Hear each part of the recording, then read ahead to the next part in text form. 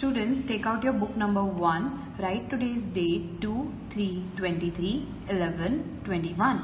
Write C dot W dot classwork capital G and G for grapes. Now students, you have to make two dots like this 1 and 2. Now make one half circle, go upwards, then make one sleeping line and then one standing line.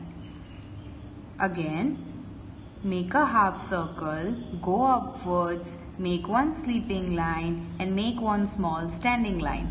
Capital G. G for grapes. Make a half circle, go upwards, make a sleeping line and then one standing line.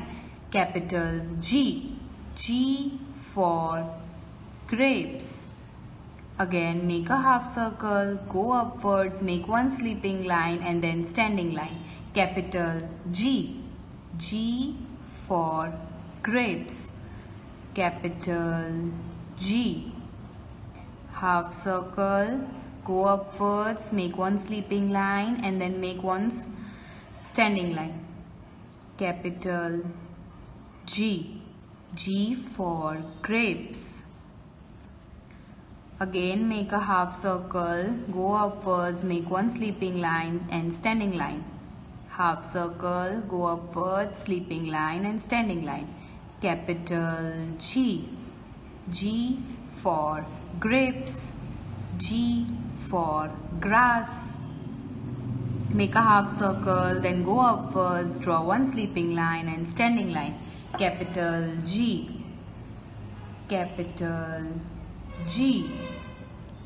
G for grass. G for grapes. Make a half circle, go upwards, make one sleeping line and standing line. Capital G,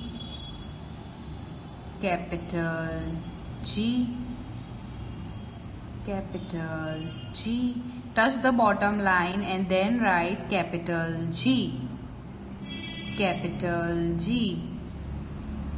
Make a half circle, sleeping line and standing line. Capital G.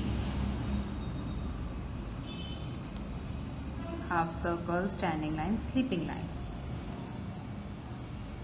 Now students, you have to write HW same as CW.